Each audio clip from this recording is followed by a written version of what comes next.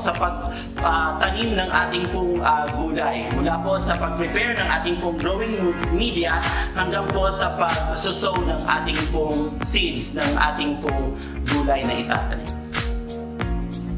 Habang naman po ay pag-transplant ng tumubo na po nating seedlings ng ating pong gulay. So ito na po no, yung ating pong tumubong seedlings ng ating pong gulay. Huwag po natin kalimutan na yung germination period po ng ating pong tinanim na lettuce ay 3 to 5 days. So, in that period po, maganda pong napapanatili natin yung tamang moisture. So, kailangan po nating diligan yung ating pong ah, mga it- sino na mga ah, seeds ah, every other day para ma-maintain po yung moisture na kakailanganin po nila para sa po sa kanilang magandang germination. After 7 days po, ito na po yung itsura ng ating pong mga itinanim na ating pong ah, lettuce. So ito po yung seedlings na, na naitanim po natin sa ating pong seedling tray. Ito naman po yung seedlings na naitanim po natin po sa ating lokong at ito naman po yung ah, ating pong ah, itinanim sa ating pong ah, polyethylene bag. So atin na po siyang itatransplant ngayon ah, sa ating pong ah, mga ah, planting ah, containers. So yung ating po mga planting containers, nakadepende po yun kung ano po yung available na materials sa ating pong ah, area. Pwede po tayong gumamit ng mga recyclable bottles tulad po ng ah, mga mineral bottles no na ah, mayroon pong 4 to 6 ah, liters na capacity. Pwede na naman po yung malalaking mga polyethylene bag. Pwede din po yung ah, mga planting containers para po sa ating pong ah, vertical garden. Yung containers na gagamitin ay para po sa ating pong ah, vertical garden na kung saan po itong containers na ito ay pwede po nating ihang sa ating pong wall o sa ating pong mga fences. Kung wala naman po tayo nito, pwede naman po tayo bumili ng malalaking polyethylene bags tulad po nito. Ah, na pwede na po siya nating ilagay naman po doon po sa ating pong mga flower stand. Ah, kung halimbawa naman po, wala po itong mga materials na to, pwede na din naman tayong gumamit ng mga recyclable bottles, yung mga bottles po ng ating pong ah, mellow water na mayroon pong capacity na 4 to 6 liters.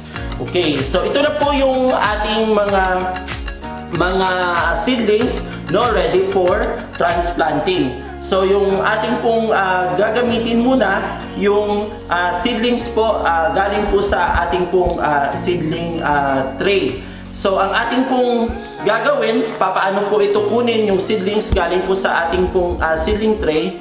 Ipupush lang natin konti ah, ng ating kamay doon sa ilalim no sa ah, seedling tray. Tapos aangat na po ito.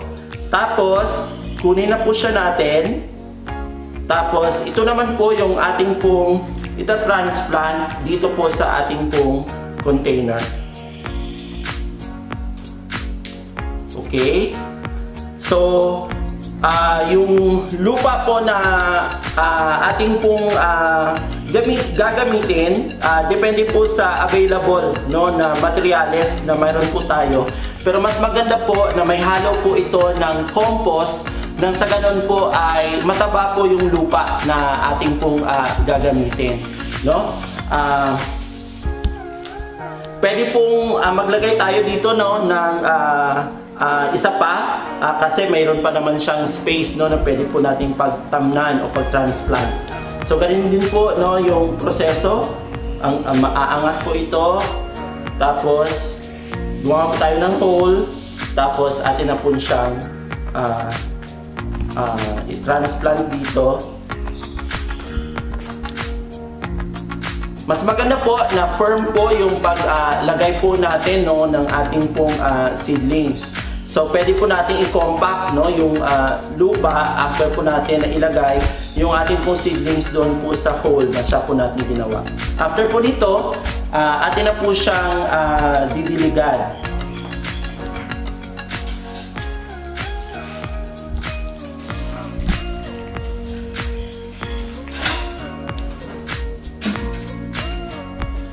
After watering po, ah, pwede na po na natin siyang ah, ah, ilagay po sa ating pong ah, walls o sa ating pong ah, fences. So ito po yung pangatlong ah, hakbang, ah, yung ating pong transplanting.